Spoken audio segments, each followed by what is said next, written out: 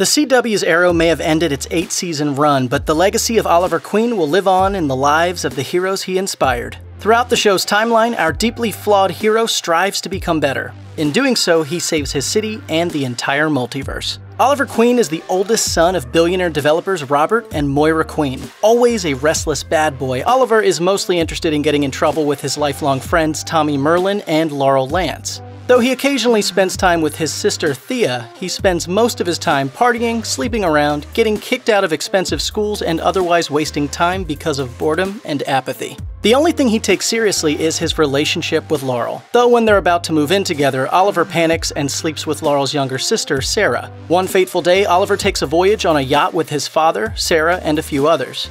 Unbeknownst to them, Tommy's sinister father Malcolm has sabotaged the boat. When it explodes at sea, Sara is swept overboard, but Robert, Oliver, and an assistant survive.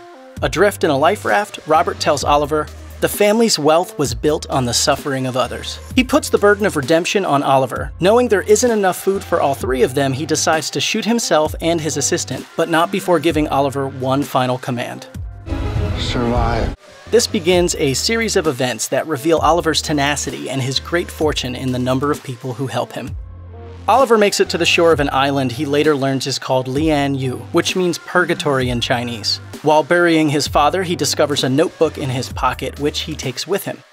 When Oliver encounters a man named Yao Fei Gulong, his life changes forever. Yao Fei turns him over to a mercenary named Edward Fyers, who is in the middle of a complicated assassination plot. Oliver learns that Fyers is holding Yao Fei's daughter Shado hostage and frees her with the help of a mercenary sent to stop Fyers named Slade Wilson. During the course of this adventure, Oliver receives combat training from Wilson, archery training from Shado, and survival training from Yao Fei. He proves to be a quick study in each, as nothing is more motivating in acquiring a skill than being threatened with death. Oliver kills Fyers and stops his plan, but not before Yao Fei is killed. Soon, a whole new problem arises. A ship called the Amazo and a mad scientist, Dr. Anthony Ivo. Ivo is looking for a strength and agility boosting serum called Mirakuru, and doesn't care who he has to kill in order to find it. Oliver winds up on his ship where he meets future ally and enemy Anatoly Knyazev. To his great surprise, Sara Lance is on the ship as well and is seemingly working with Ivo. However, she helps Oliver and Anatoly and joins the others on the island. Ivo gives Oliver a choice of whom he will kill, and when Oliver jumps in front of Sara, Ivo kills Shado. A dying Wilson is giving the Mirakuru, which boosts his powers but drives him insane. In a pitched battle on the Amazo, Oliver stabs Wilson in the eye with an arrow, but Sara is swept out to sea. Oliver wakes up to find that he's been conscripted to work as an assassin for the spy organization Argus. His travels take him to Hong Kong, Starling City, and all the way back to Lian Yu. Eventually, he leaves his boss Amanda Waller and Argus behind, traveling to Russia to make good good on a promise he once made kill a powerful Russian mobster named Konstantin Kovar. Oliver nearly winds up getting killed by the Bratva, another Russian mob trying to find Kovar. He's spared by Anatoly, a Bratva member whose life Oliver saved on the Amazo. When Anatoly learns that Oliver wants to kill Kovar, I'm here to kill Konstantin Kovar. He tells him his only chance is with the help of the Bratva. That means joining up. Of course, membership is rather exclusive, requiring a series of horrific pledge tasks before he's initiated. Oliver is captured and tortured by Kovar and learns that the Bratva cut a deal with his enemy. All seems lost until Talia al Ghul comes along and rescues him. My name is Talia. I've been looking for you.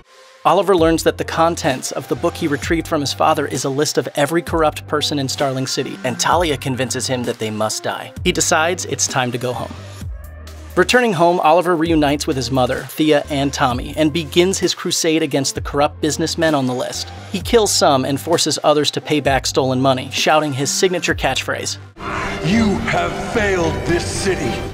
After various attempts on his life, Moira assigns a security guard named John Diggle to watch over Oliver. Oliver first tries to ditch him, then eventually makes him the first member of what will become Team Arrow.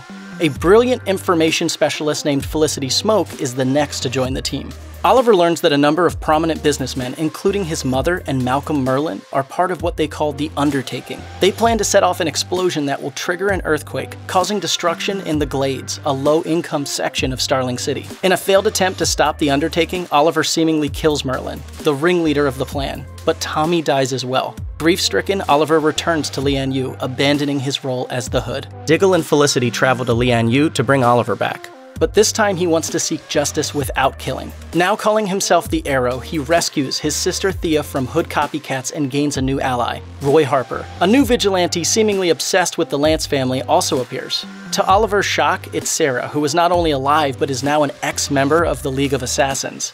Oliver has to deal with Sebastian Brother Blood, who becomes mayor of Starling City under sinister circumstances. The man behind the throne is a crazed Slade Wilson, who uses his Mirakuru-laced blood to develop an army of super soldiers. Oliver is aided by his new friends Barry Allen, Cisco Ramon, and Caitlin Snow, who investigate Brother Blood's crimes on leave from Central City.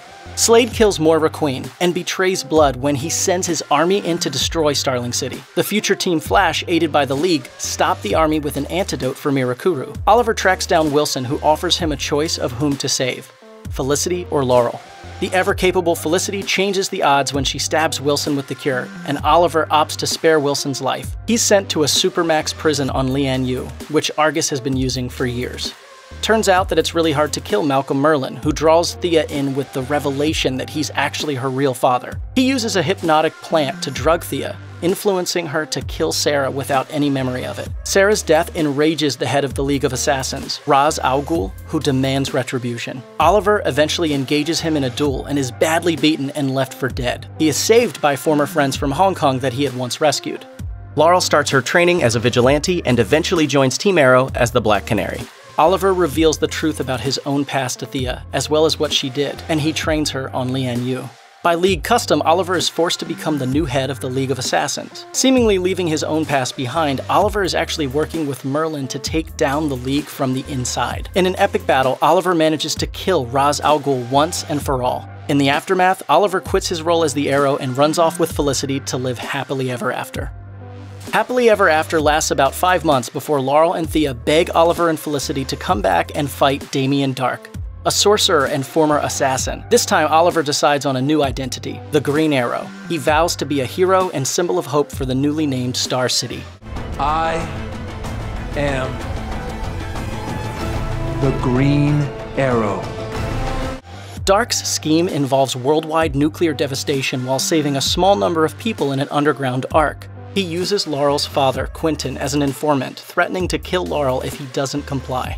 However, Oliver first has to help Barry, now known as the Flash, with the mystery of Kendra Saunders and the threat of Vandal Savage. During this team up, Oliver is distracted because he's learned that he has a young son named William. William's mother, Samantha Clayton, had been paid to keep him hidden from Oliver. Oliver decides to run for mayor, but his opponent, Ruve Adams, happens to be Darhk's wife. Darhk kidnaps William and threatens to kill him if Oliver doesn't drop out of the mayoral race. Oliver complies, but he and the team keep fighting the seemingly invincible Darhk. Quentin betrays Darhk, and as promised, Darhk kills Laurel.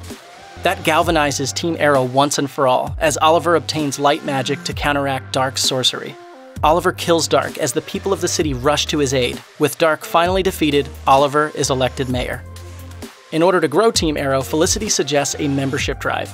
Renee Wild Dog Ramirez, Evelyn Artemis Sharp, Curtis Mr. Terrific Holt, and Rory Ragman Regan join the team. Later, Team Arrow recruits a new Black Canary. Police officer Dinah Drake joins the team, and not a moment too soon. A new threat arrives in Oliver's life with a personal grudge Prometheus. Laurel pops up alive, claiming that the legends of tomorrow pulled her out of the timeline to save her life. This is actually the sinister Earth 2 Laurel, the Black Siren. In a series of betrayals, Laurel and Evelyn are revealed to be working with Prometheus, along with Talia al Ghul. Prometheus is Adrian Chase, Oliver's district attorney. It turns out Chase's father was one of the Hood's victims, so Adrian decides to engage in an elaborate revenge scheme, destroying Oliver's life and trying to drive him insane. Eventually, they are lured to Lian Yu after William is kidnapped. William's mother is killed when Chase's death sets off bombs on the island. In an effort to get to know his son better, Oliver gives up being the Green Arrow and entrusts the job to Diggle. Oliver has a big problem to deal with, however. Super hacker Cayden James and his crime empire. Oliver apparently killed James' son by accident, so James seeks revenge with his own team the Black Siren, Anatoly, who feels betrayed by Oliver over a botched deal, and a quiet criminal named Ricardo the Dragon Diaz. It's revealed that Diaz is the real brains behind James' operation, having manipulated everyone else. Diaz either buys or blackmails everyone in the city government. Even worse, a lack of trust splits up Team Arrow as Renee, Curtis, and Dinah form their own team. Hope you find what you're looking for. Eventually, Black Siren and Anatoly switch sides and Diaz is defeated, but escapes. Oliver wakes up one morning and finds himself living in the Flash's life, and he soon discovers that the same thing has happened to Barry. They manage to convince everyone that they're not crazy and seek help from Supergirl, who understands what is happening. It turns out that a cosmic being named the Monitor has given deranged psychiatrist John Deegan a magical book that he uses to change reality. Eventually defeating him, Oliver makes a deal with the Monitor in exchange for Barry and Kara's lives. Diaz is killed in prison, but not before he reveals his connection with a shadowy figure named Dante, the leader of a terrorist organization called the Ninth Circle. Another green-clad archer appears. It's Emiko Adachi, another half-sister of Oliver's, this time on Dad's side. She initially appears to reconcile with Oliver, I need to try and make things right. but is revealed to be the secret leader of the Ninth Circle. She eventually switches sides and forgives Oliver before she's killed by her own group. The bad guys are defeated, but the now married Oliver and Felicity go into hiding as she gives birth to their daughter, Mia. Oliver and Felicity are happy for a while with baby Mia until the Monitor comes calling. Oliver is needed to help stop the impending crisis on Infinite Earths. He teams with Barry, Kara, Sara, and a future version of Mia to defend Earth 38. After suffering a fatal wound helping to save billions of lives, Oliver's friends use a Lazarus pit to resurrect him. Before Oliver's soul is restored to his body, he decides to accept an offer to become the new incarnation of the Spectre, the cosmic personification of justice. With everyone else in existence annihilated, the Spectre rescues his surviving friends and they battle the Anti Monitor, the cause of the crisis, shouting, failed this universe.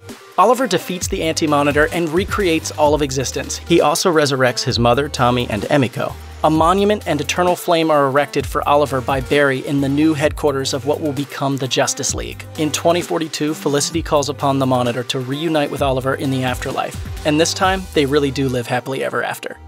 Check out one of our newest videos right here. Plus, even more Looper videos about the DC Universe are coming soon. Subscribe to our YouTube channel and hit the bell so you don't miss a single one.